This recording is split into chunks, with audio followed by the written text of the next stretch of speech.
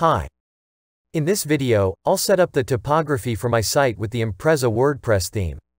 I'll use an example page with several content blocks showing different text styles and levels of headings.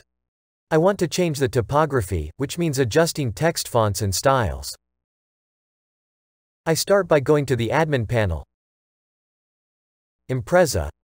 Theme options. Typography. Here, I'll set up the font for the regular text. I can choose the font from the web-safe combinations.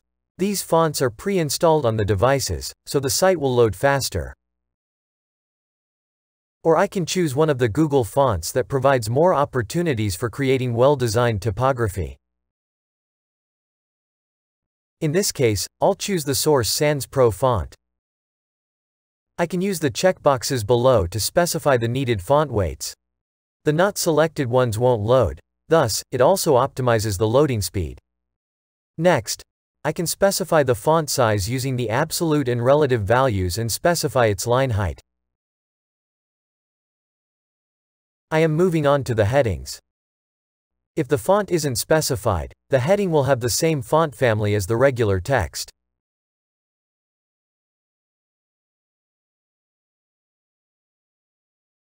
Generally, this way is optimal for most websites. However, I want to use a separate font for headings. So I pick it and save the changes.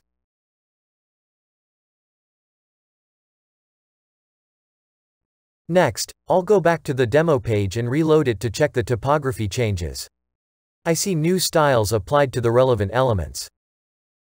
Most site elements define their sizes in relative units based on the primary font size.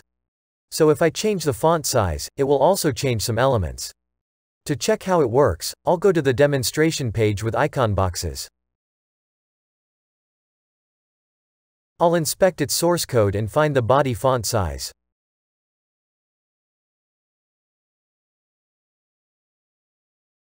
As I increase or decrease it, I see icons and headings change their size accordingly. It means these are the relative sizes based on the font size. Thus, to keep the element sizes proportional on all devices, I can separately set up the font size for desktops and mobiles. I'll return to the typography settings. Along with the fonts described earlier, I can also use custom fonts, uploading them to my site. I want to use the Inter font for the text, which I can find in the Google Fonts library. However, font developers frequently post updates, so the Git repository always has its latest version, unlike the Google library. To use the font's latest version, I'll scroll down to the Uploaded Fonts section. I'll press the Add, Upload and pick the font file. Save the changes, and refresh the typography page.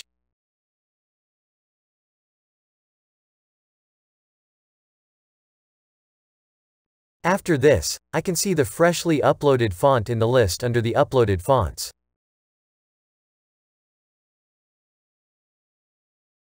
While editing the site content, I can also set up the fonts in the element settings. I'll click the element to open its settings. Choose the design settings. Pick the text, and scroll down to the font setting. If I want to add new fonts to this list, I can easily do so. I'll go back to the typography settings and scroll down to the additional Google Fonts section.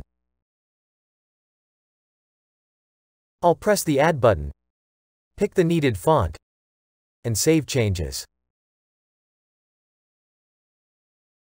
If I return to the demo page and reload its preview, I can open the element settings again.